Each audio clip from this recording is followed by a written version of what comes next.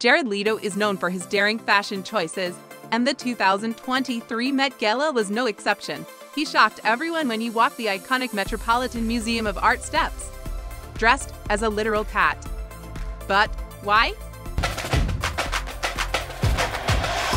If you're a fan of Leto's incredible acting skills and unique style, you're in for a real treat. Don't forget to smash that like button, subscribe to our channel, and share this video with your friends. So sit back, relax, and let's dive into the wild world of Jared Leto, from his iconic portrayal of the Joker to his daring fashion choices.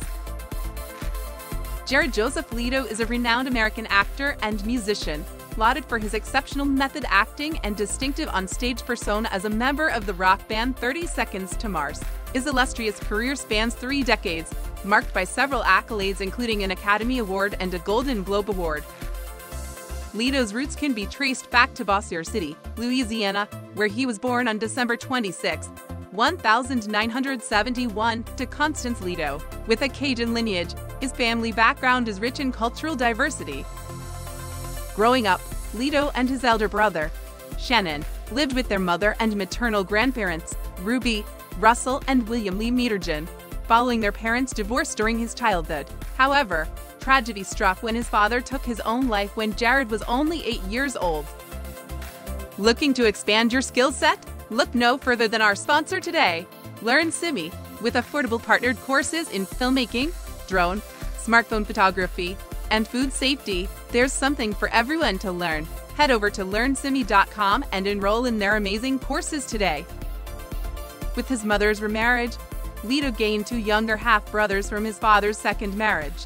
Owing to his grandfather's service in the Air Force, Leto moved around quite a bit in his early years, making adjustments and adapting to new environments as a normal way of life. In 1992, Leto made the life-changing decision to head to Los Angeles to pursue directing while also keeping acting on the back burner. Initially, he landed minor television roles before scoring his first major break in 1994 as Jordan Catalano, the love interest of Claire Danes' character in the critically acclaimed yet short-lived teen drama My So-Called Life. Despite the show's cancellation after just one season, it garnered a devoted cult following for its realistic depiction of adolescence. That same year, Leto made his television film debut in Cool and the Crazy and secured his first film role in the 1995 drama How to Make an American Quilt.